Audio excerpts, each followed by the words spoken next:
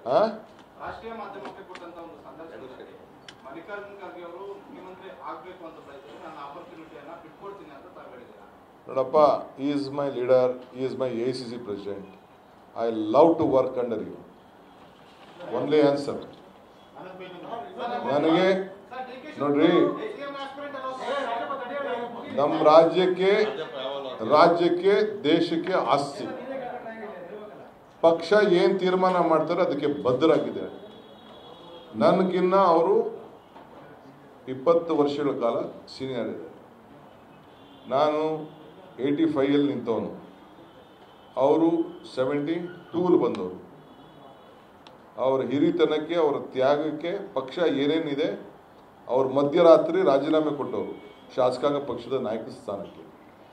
ನಮ್ಗೆ ಗೊತ್ತಿದೆ, ಇವತ್ತು ಎ ಐ ಸಿ ಸಿಯ ಬ್ಲಾಕ್ ಅಧ್ಯಕ್ಷರು, ಎ ಸಿ ಸಿ ಅಧ್ಯಕ್ಷ ಆಗಿದ್ದಾರೆ ಇದು ಬೇರೆ ಪಾರ್ಟಿಲಿ ಇದೆಲ್ಲ ಆಗ್ಲಿಕ್ಕೆ ಸಾಧ್ಯ ಇಲ್ಲ. ಇದು ಕಾಂಗ್ರೆಸ್ ಪಾರ್ಟಿಲಿ ಮಾತ್ರ ಸಾಧ್ಯ. ಈ ರಾಜ್ಯಕ್ಕೆ ಅವರ ಸೇವೆ, ಅವರು ಇವತ್ತು ಎ ಸಿ ಸಿ ಅಧ್ಯಕ್ಷ ಆದ್ದರಿಂದ ಇನ್ನೂ ನಮ್ಮ ಕಪ್ಪ, ರಾಜ್ಯಕ್ಕೆ ಒಂದು ದೊಡ್ಡ ಶಕ್ತಿ ತುಂಬ್ತಾ ಇದೆ. ಆ ಹಿನ್ನೆಲೆಯಲ್ಲಿ ಅವರು ಏನು ಇಚ್ಛೆ ಪಡ್ತಾರೆ ಅದಕ್ಕೆ ನನ್ನ ಬದ್ಧತೆ ಇದೆ.